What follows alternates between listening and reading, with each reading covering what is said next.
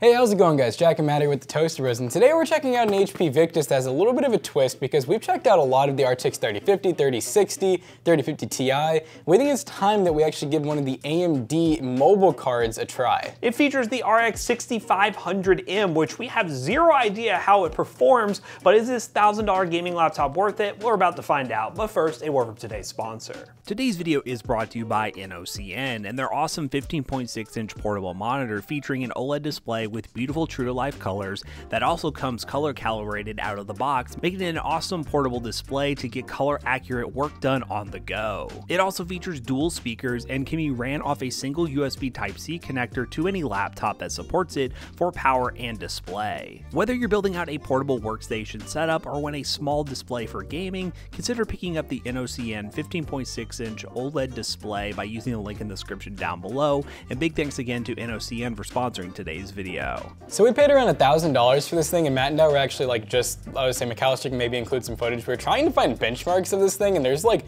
none on the internet. We might be the only people who have ever bought this. I know that a lot of people try to stay away from the AMD mobile cards and we haven't really known why, so maybe we're gonna find out today. It does feature a Ryzen 7 5800H, so regardless it does have a good CPU in it, but is it gonna be good for gaming with that 6500M that doesn't exist to some people? Well, we're gonna find out and open this thing up right now. This is my, my daily carry. This is from our friends at Carb. Toasty DIY if you wanna see a full video on it. But yeah, I'm pretty excited to try this out because I know that like I've actually turned down buying some of the AMD laptops, not because I don't like them. I love AMD uh, CPUs and GPUs. I think they definitely have their place, but it's the fact that customers just don't really seem to want them, especially not at a not at a fair price. If they're gonna take them, I think they're gonna want them like dirt cheap. So a thousand dollars for this, I mean, I would never pay some a thousand dollars for something with a 6500 XT.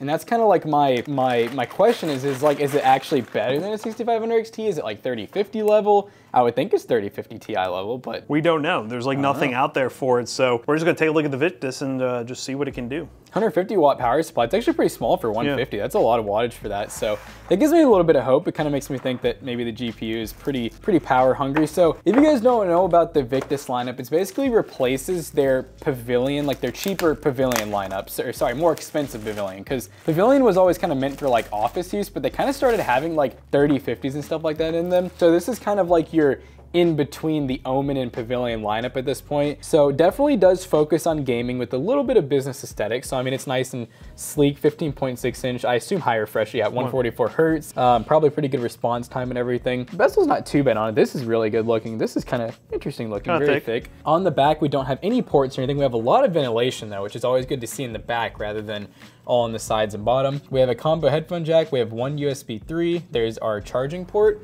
Oh, then we have an SD card reader. Didn't even notice oh, that. Nice. Full-size SD card reader. Then the other side, we have USB-C, which I love to see. I love to see the USB-C. We have an Ethernet jack, which is also nice. Uh, we have another USB 3 and HDMI out. So you might be able to have two HDMI, or well, a USB-C and then an HDMI out on this. Let's see if it actually has a charge. Oh, it it's always like going as a charge. That's how you know you got a good battery. It's a good sign. It. But as you can see, 5000H, that's going to be the, is that 8 core 16 yes, thread? Yes, it is. Yeah, 8 core 16 thread, and then the 6500, which is a 4 gig card. That's all about I know about it. That's all about. I know about That's all about there, I know about that. But it does say that it's a good amount newer than the 3050 and 3050 Ti, by like almost a year. So I'd hope maybe AMD took some notes from that and were able to make something good, but I do wonder why we've never seen one of these before. Yeah, so as always, we're gonna let this thing load up, make sure everything is working right, and then we're gonna install some games and just kind of see what is this RX 6500M all about, and is it really a good gaming card? We're gonna find out. Let's do it. All right, guys, we are testing out Apex Legends for our first round, and we're basically on like high settings, like one or two mediums, we're just gonna call it high, 1920 by 1080, and we actually went back and looked and we tested a laptop that had a 5800U, which I believe is, is still 8 core 16? I believe Just it is, lower just lower clock, clock speed, yeah. Yeah, and uh, that was a 3050 Ti. 3050 Ti was maxed out at 100% though, so it was not being held back, and it was getting like 60 to 80 FPS, so we're, we're getting a good amount better on average. It, it was a different map, so it's not a good apples to apple comparison, but I mean, it's still getting comparable performance. So I would say a 3050 Ti uh, laptop version, obviously, would be a good comparison for this GPU. Yeah. I'm not afraid. Oh, man.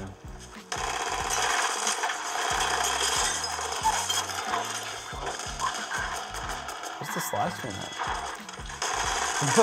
Oh, he slid into God. him. Yeah, we really like the Victus laptop as a whole. The bodies are pretty much the same throughout the spec line, and uh, it's not super loud. The temperatures aren't crazy. I mean, CPU's at 75 degrees Celsius. Couldn't find GPU temperature as MSI Afterburner option, so I can't really tell you what that's at, but if the CPU's at that, it probably is pretty close. Oh, I tried. Oh, Mozambique! Mozambique! Get him. Get him. Oh no. Oh, no. God. Oh, Oh, God. Oh, oh no. Oh. Oh! Oh, this is kind of interesting. I've never. Okay, well, That's an interesting uh, healing mechanism. Get your charge rifle out of I'm here! pissed that guy tried to use that on me. Yeah, the performance seems pretty comparable to something like a 3050 Ti, at least in Apex, with a somewhat similar CPU. So yeah, I mean, it's kind of cool. Let's see what else it can do. All right, guys, we are now in Warzone, running like medium low settings. Um, I was experiencing a little bit of lag on the actual like starting mode um, in the warm up lobby. So we'll see how this does. Yeah, like it's really weird. Like when we're in the chopper right now, we're getting like 39 to, oh, they're 60, but it's like, it's all over the place. Let's just go ahead and land. When I landed, it went all the way up to like 90. So I don't know if it's just an optimization thing with this AMD GPU or what, but yeah, the FPS gets better as you drop. So I- I really don't know what to say about that. I'm getting shot. Come here, gamer. Nice try, buddy. And people are just landing on me so I can kill them, so that's fun. Oh! Oh, my man found me. Ah! Oh, I died. Oh, that was it? Wow, I died way too quickly. Warzone's a little bit weird. I don't know, it's really weird. Some spots you're getting dips below 60 and other spots you're getting up to 90. So I don't know, maybe it's a driver optimization thing or whatever with a new GPU. Or this thing just has limitations in terms of VRAM. It doesn't have 4 gigs of VRAM, but I felt like the 3050 Ti did better. So I don't know. All right, everyone, we are testing out Battlefield 5, and this is a very demanding game. We're at 1920 by 1080p medium settings right now, and we're on the big conquest mode, so there's a full 64 players here, where are they? and uh, but we're, where? we're, we're gonna go find some. That's what we're gonna do. We gotta find someone laying down. Like if I if I look with a keen eye, I'll find them. There could be people anywhere in here. This is the jungle. This is the Wild West now. getting close to destroying I'm getting this laptop. I'm getting close to like out of bounds apparently. Why did someone throw smoke up there? Oh, enemy hit. Oh, thank boat go choo choo. That guy looks dead. He looks slumped. Oh no, this, this is painful. All right, it's for the best, dude. This, the, this, whatever this lobby is, not good. Do not recommend it.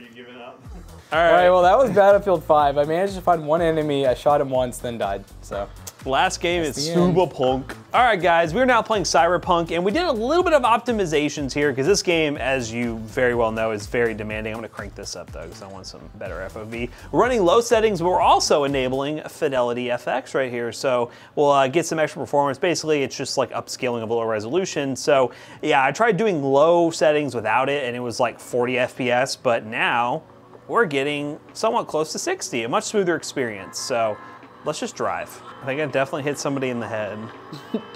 oh no, I'm so sorry. you don't even have a star yet. What are you doing? I don't know, I'm slacking. Whoa, whoa, whoa, chill. You still don't have a star. Oh, you got one. It just took like 10 shots. I was like, that's a sure way to get a star right there, baby. Yeah, this GPU is kind of weird. I feel like 3050 Ti does perform better in most games, but in Apex it was fine. What are Like- you doing? that doesn't work in real life. What are these physics? Full speed. oh man. All right, baby. All right, baby. Here we go. Oh. Oh, wow, that didn't work the way I wanted it That's to. not what I saw coming. Can get me, can't get me. Look at the movement, it's insane. Okay, I'm dead. All right, well, that's Cyberpunk and uh, yeah, kind of mixed feelings about this laptop. I think at its current price point, it's kind of weird compared to a 3050 Ti, but it is interesting to see that AMD has an RX 6500M that we can't seem to find anything about. So yeah, there's that. Let's wrap this video up real quick. Alright guys, we just got done benchmarking this laptop and we definitely have some interesting thoughts about it. The 6500M is a lot better than we thought it was going to be. We saw some people saying it was like a lot worse than 3050, 3060. We found that it was pretty close to a 3050 Ti, so basically 1660 Ti, maybe slightly above that performance.